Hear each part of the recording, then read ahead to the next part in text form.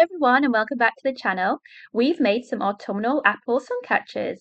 My son and I made heart-shaped sun catchers for Valentine's Day and animals for summer, but for autumn we went with apples. We used cellophane and for Valentine's Day we actually used tissue paper which also worked but then I only had red and pink tissue paper left over. But I had a few other colours in cellophane and we used yellow, green and red. We also use contact paper, or what I would call sticky back plastic, as well as apple outlines that I printed out and then cut out.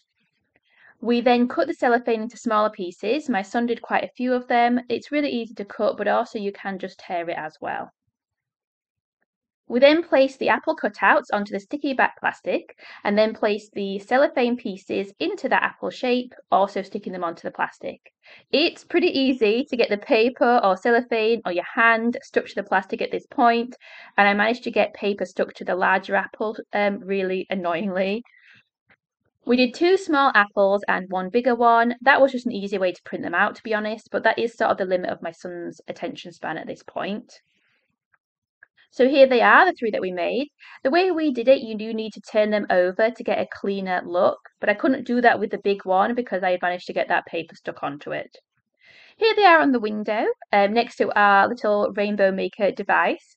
I do think a few more would look nice, or maybe something complementary like pumpkins or autumnal leaves, but I would need some more orange and brown cellophane first to do that. So let me know what you think in the comments, and please do like and subscribe.